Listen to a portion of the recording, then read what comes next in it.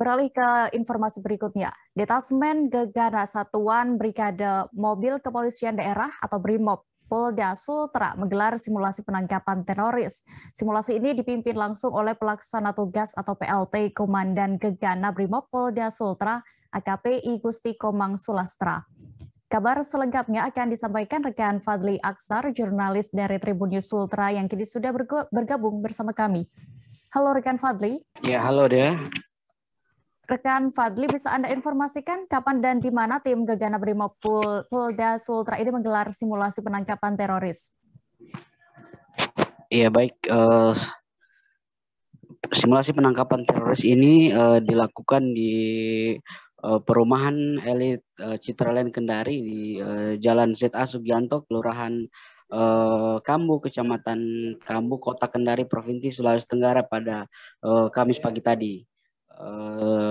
Pemilihan tempat ini sebenarnya uh, menurut uh, dan Satbrimo Polda Sutra uh, Kombes Pol Dharma Sinaga bahwa uh, sebenarnya pemilihan tempat ini uh, uh, tidak secara khusus uh, apa dipilih untuk menjadi tempat latihan. Karena setiap uh, tempat itu uh, bahkan semua tempat berpotensi untuk uh, terjadinya uh, apa tindakan terorisme atau kejahatan dengan uh, senjata api dan uh, bahan peledak. Begitu ya.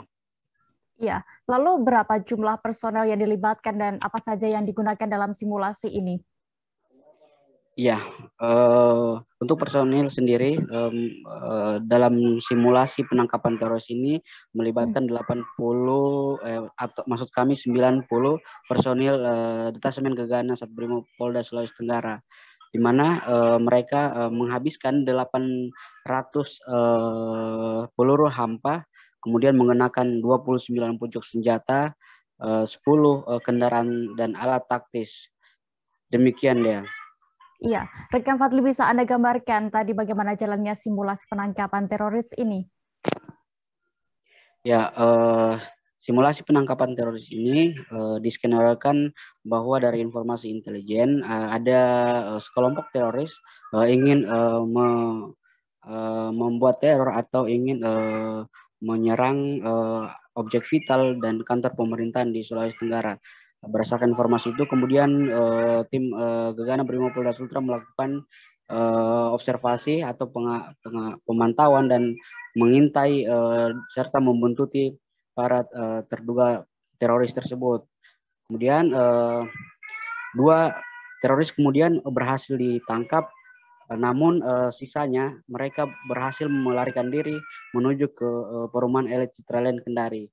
Saat di Citraland, uh, para uh, tim Gegana kemudian uh, menerjunkan uh, sharpshooter atau tim yang uh, bertindak untuk melakukan penembakan terhadap um, para teroris tersebut. Kemudian eh, para teroris tersebut kemudian menembak secara brutal dan meledakkan dua bom untuk membuat situasi menjadi panik.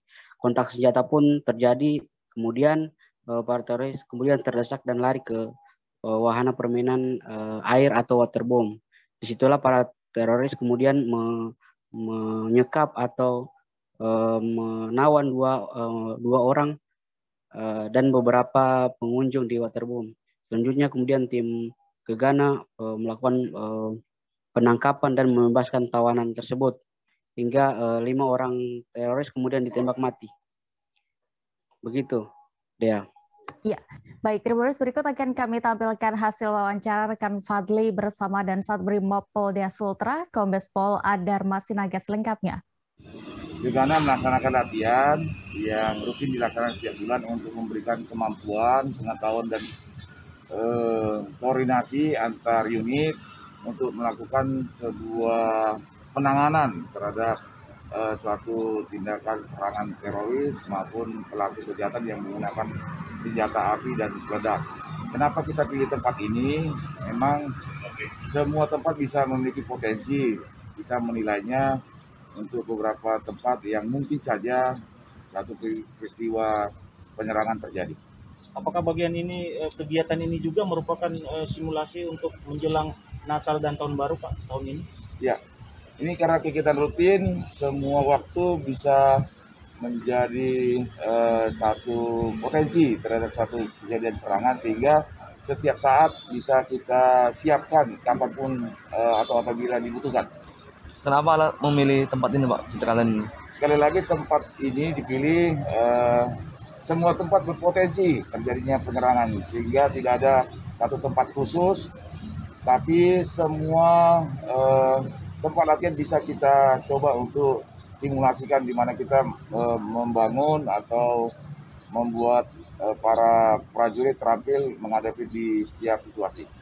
Jumlah personilnya Pak yang terlibat dalam latihan ini? 90 personil. Nanti teknisnya seperti apa kemudian? Ya. Nanti teknis penanganannya seperti apa ini? Penanganannya skenario nya adalah uh, adanya penyerangan yang diduga informasi yang kuat bahwa penerangan itu menggunakan senjata api dan bahan peledak.